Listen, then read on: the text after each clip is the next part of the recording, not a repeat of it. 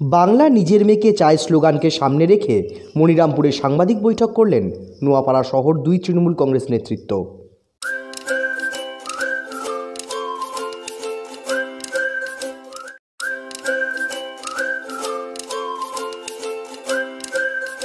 বাংলা নিজের মেয়েকে চায় স্লোগানকে সামনে রেখে আসন্ন বিধানসভা নির্বাচনের প্রচার শুরু করল তৃণমূল কংগ্রেস।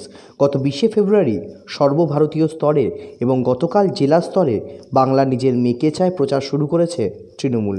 সেই প্রচারে এবার ব্যারাকপুর, মনিরামপুরে সাংবাদিক সম্মেলন করলেন নোয়াপাড়া শহর দুই তৃণমূল কংগ্রেস, যুব তৃণমূল কংগ্রেস, তৃণমূল ছাত্র পরিষদ সহ তৃণমূল কংগ্রেসের অন্যান্য শাখা সংগঠনের সদস্যরা। এদিন সাংবাদিক বৈঠক নিয়ে বলতে গিয়ে উত্তর ব্যারাকপুর পৌরসভার পৌর প্রশাসক মণ্ডলীর সদস্য অভিজিৎ মজুমদার জানান, কারণ আজকে বাংলা নিজের মেয়েকেই চায়। আমরা এই জন্যই আজকে এই স্লোগান আমরা দলের তরফ থেকে যে ক্যাম্পেইন লঞ্চ করা হচ্ছে কারণ এটা আমরা সর্বজন স্বীকৃত।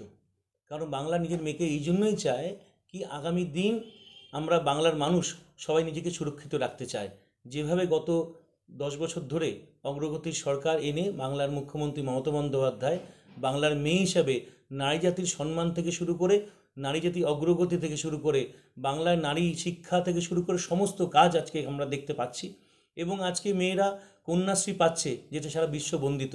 আজকে স্বাস্থ্যসাথী মায়েরা পাচ্ছে।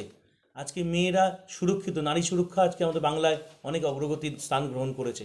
এবং বাংলায় আমরা অবশ্যই বলব, বাংলার মেয়েরা অনেকটাই সুরক্ষিত এবং বাংলার মেয়েরা উন্নয়ন করেছে।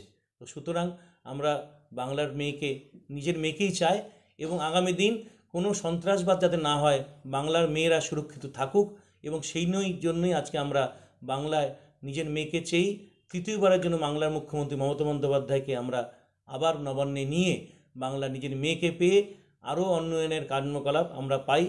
আমরা একের পর প্রায় চৌষট্টিখানা প্রকল্প আমরা পেয়েছি। আরও অনেক নতুন নতুন প্রকল্প পাওয়ার মাধ্যমে বাংলার উন্নয়ন ঘটুক এবং বাংলা বিশ্বের শুধু ভারত- ভারতবর্ষ নয় বিশ্বের দরবারে ইতিমধ্যে এসেছে। আরও বিশ্বে নাম গ্রহণ করুক, তার জন্য বাংলা নিজের মেয়েকেই চায় এবং সেটা স্বীকৃত শুধু সময়ের অপেক্ষা এবং এই নির্বাচনের মাধ্যমে সেটা প্রতিফলিত হবে। বাংলা নিজের মেয়েকেই চেয়েছে। নবান্নে মমতা বন্দ্যোপাধ্যায় আছে। এটাই আমাদের আশা, এটাই আমাদের ভরসা এবং আমরা শুধু সময়ের অপেক্ষায় বসে আছি।